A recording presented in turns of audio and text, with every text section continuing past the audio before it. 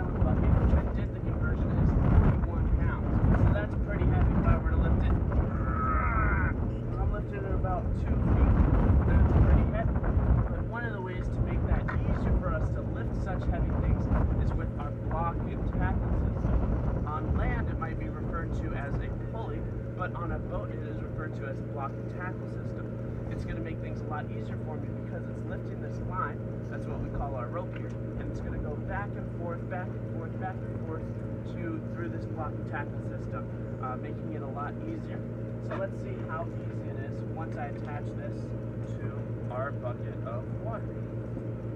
So this thing goes uh, back and forth, back and forth a total of five times, which means that this should weigh one fifth of uh, the amount of weight for uh, this bucket. So let's round down and say it was 40 pounds instead of 41. What is one fifth of 40?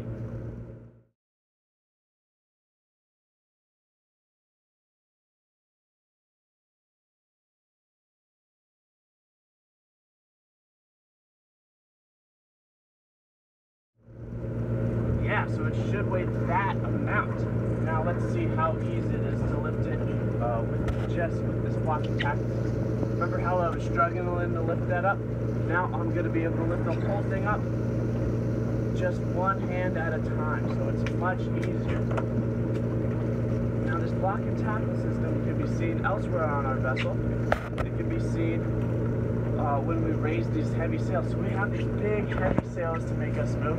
This is our foresail, and this back one all the way over here is our main sail.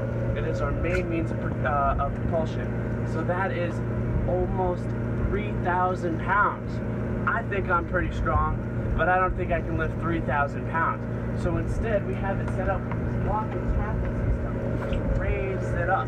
So that way we're able to raise up our sail to make us move forward.